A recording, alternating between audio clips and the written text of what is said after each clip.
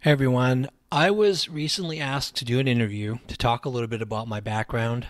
Uh, my answer to them was that I actually prefer people continue believing that I'm new to this game and I have very little experience because the more people know about you, the more they use to attack you. With that said, I realize that I've been doing all of you a disservice not telling you more about the work I've done in the past. Uh, a lot of that work was what developed my experience, um, the experience that I have today, um, that I use to search for the missing. And I think all of you and anyone new to our channel deserves to know my background and why I would be interested in doing this kind of work. So, if any of you existing members have heard any of this before, I apologize. Uh, this one's for the new folks, maybe who don't know me or my background very well. So here goes. My name is Ryan, and since 2006, I've been a researcher and a writer in some capacity over the years. I've written thousands of articles about technology, including how parents can protect their, their children from online predators. Um, I've researched and written exposes about scams and scam artists in ufology and the paranormal. I've covered fringe science claims, government de- declassified projects, and religious cults, and much more. Um, during the course of that research, I established friendships with with two CIA scientists with the Science and Technology Division, Dr. Ron Pandolfi, who was at the time I met him a current analyst there, and Dr. Christopher Green, who uh, had that same role formally in the 1980s. Dr. Green was at the forefront of the CIA's involvement and funding of SRI, um, the, the, Stan- the Stanford Research Institute's research into remote viewing, which was believed to be a form of psychic ability where humans could see places and people from a distance.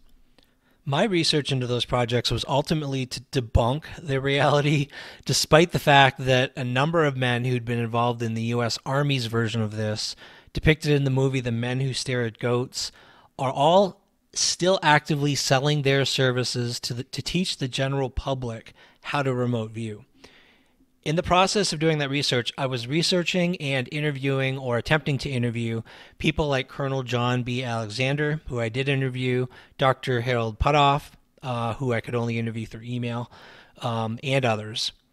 I had set out to prove that these people and others had milked wealthy, high risk investors of millions.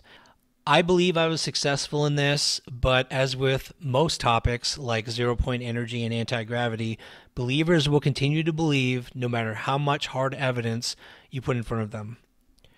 To this day, I still feel that my friend Dr. Green had allowed his mind to become too open when deciding on whether or not the CIA should fund remote viewing research, but I also believe he meant well and at least attempted to trust the scientific process along the way. I had also done a lot of work debunking UFO sightings or abduction claims. What I learned quickly while researching that field was that for every nine UFO or, or abduction sightings, there would be one case that could not be debunked. I quickly learned that, like most paranormal phenomenon that science has yet to fully explore, there are a lot of scammers, fraudsters, and liars. Most of them are out for money. Yet I never could get myself to throw the baby out with the bathwater because I kept sensing that somewhere in that mess of scams, there were glimpses of a potential scientific discovery. I came to believe that they either seem to be sightings of our own government's top secret advanced aircraft or they're, they are advanced aircraft from other countries intruding upon our airspace. Author Gus Russo, while writing an article titled Is Uncle Sam a Closet UFOlogist, decided to interview me as one of his sources. At the conclusion of his article, he wrote the following The opinion of Ryan Dube appears inarguable. Quote, if the field of ufology could be cleaned of the rubbish, we may find that there remains very valid and important evidence that demand our attention. Unquote. My interest in finding truth wasn't only in parapsychology and ufology, but also religion. I had always been intrigued by the pra- by the practice of exorcism by the Catholic Church, and at one point I wanted to understand whether any of the phenomenon ever portrayed in the movies and TV had any basis in reality. To do this, I wanted to find the most expert source on the topic of exorcism. I searched for leaders in the Catholic Church who had taken part of this practice at the very beginning of when the church did do exorcisms. My search led, led me to a man named Father Jose Antonio Fortea. He was Spain's very first exorcist and was the man who trained other priests to perform the ritual throughout the rest of Spain. I asked Father Fortea if he felt any of the victims of possession were simply suffering from a mental disorder. Father Fortea said that most of the people who came to him for advice or counseling for what they believed were, were possession were perfectly normal people. And 25 to 30% of them even doubted that their issues were demonic. He told me that his test for presence of the demonic was to see their reaction to when he prayed for them. He said, and I quote, only praying can give you the answer. Father Fortea did admit to me, though, that less than 1% of the people who sought him for help were actually possessed. An interesting phrase he said to me, though, was this Many people suffer from demons, but don't suffer from possession again, my goal was always to ask for proof of actual paranormal events. So, toward the end of the interview, I started asking the questions I really wanted to ask. What were some unexplainable phenomena he witnessed with his own eyes? Father Fortea told me that he asked for one nine year old's child's name in Latin as a test. She told everyone in the room that the father was asking for her name. Other things he said he had witnessed over time, including people speaking in other languages, great strength, knowledge of things impossible for them to know, and also, and I quote, levitation twice. With all that said, I have to admit that my own opinion of the reality of exorcism and demonic possession remains undecided.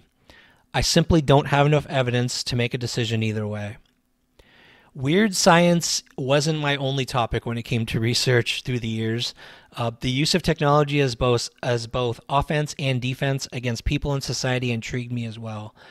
During the Trump campaign, I had picked up on a Facebook post making wild claims about members of the Democratic Party. I traced the publication ownership back to a Russian paramilitary organization that was also actively publishing propaganda against freedom fighters inside Iran that were fighting to take down the Irani- Iranian regime. That was the same regime that was attempting to establish itself as a nuclear power in the region.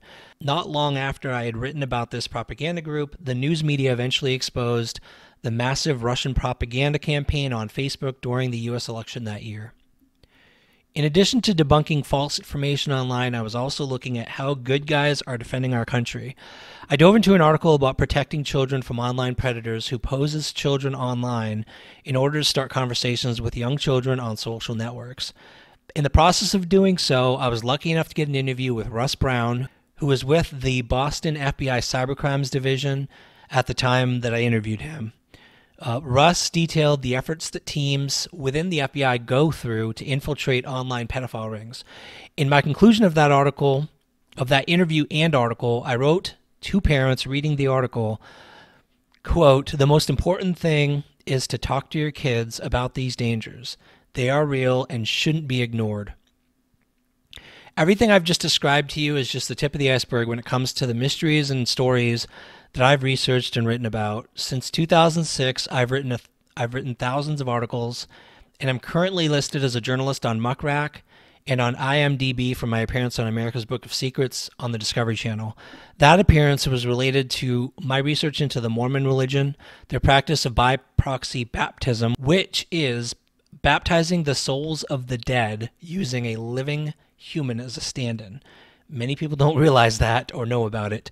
Uh, and their practice of collecting and storing the information of everyone's ancestors in the world in their underground vault in Utah. For what purpose they do this, I have no idea. But with that, combined with their belief in by proxy baptism, one could be forgiven for suspecting that the church has a plan to eventually rebaptize the entire world as Mormon. Maybe they see it as an effort to save the world from hell. Who knows?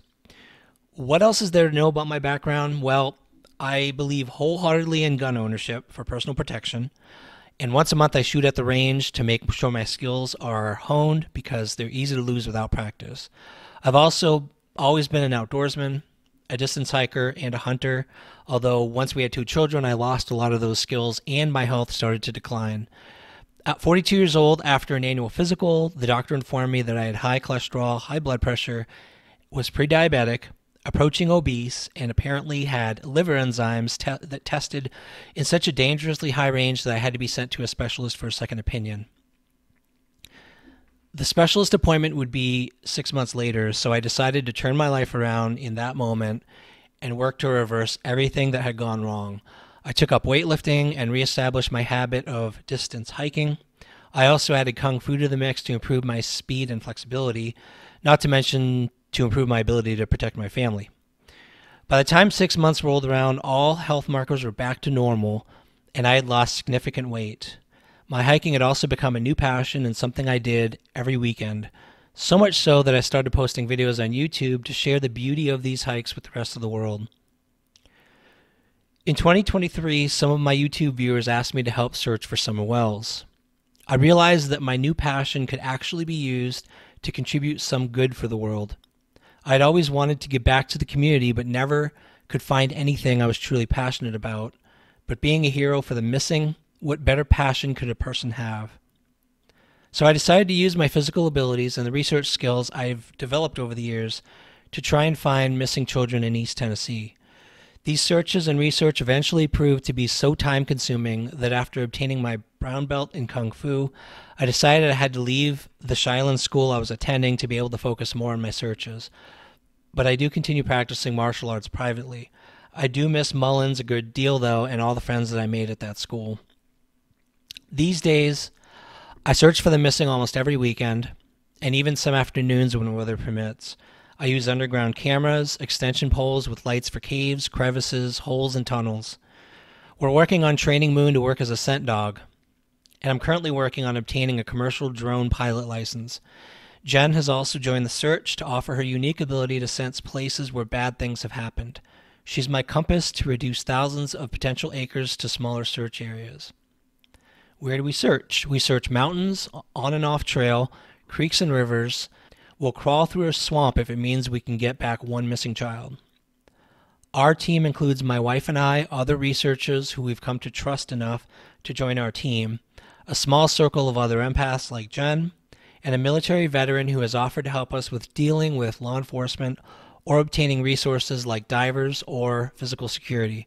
She's also been a much needed moral support when things get especially difficult. Our approach will always be to join forces with good people who are only interested in finding the missing, and to block all drama and hate channels that only want to talk about other people rather than focus on the missing. Our goal is to block the voices of hatred from our space and to be a force for God to work his wonders in the world. We keep our minds and hearts open to God so that he can use us to achieve his will. If that's a miracle, we'll celebrate. If it isn't, we'll trust in his divine timing. If you're here for that too, then please subscribe, like, and share this channel with others you believe are interested in the same thing. We also do accept donations to cover expenses like gas, hiking gear, advanced search equipment if possible, online research tools, wear and tear on my Jeep, and maybe one day a boat and sonar equipment. As a team, I believe we can achieve great things. As a community, I believe we can achieve the impossible. Always remember, it always seems impossible until it's done. Thank you all for watching, and both Jen and I look forward to seeing you all next time.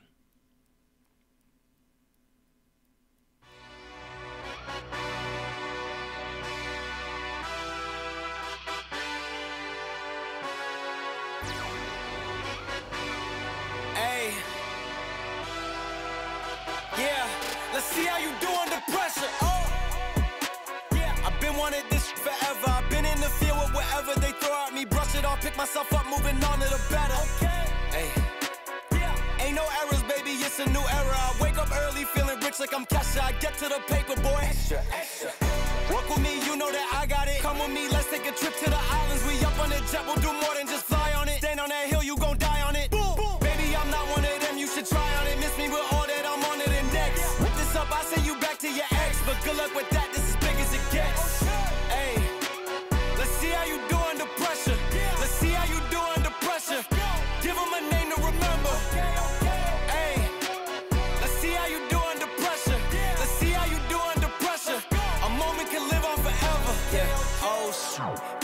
Shoot a whole clip. Firepower in this coalition. We just turned the field into a demolition. It was desolate, but I had premonition. I was training for war every exhibition, every extra mission, every enemy listening. Get off my dick. I got bad intentions. Make it right every wrong, and I'm back with a vengeance. I show you the ropes. Peace in my town, I can show you the coast. Up in the shots if they wanted to smoke.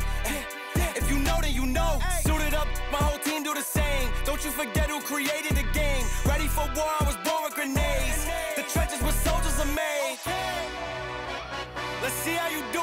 pressure. Let's see how you do under pressure. Give them a name to remember. Hey. Let's see how you do under pressure. Let's see how you do under pressure. A moment can live on forever.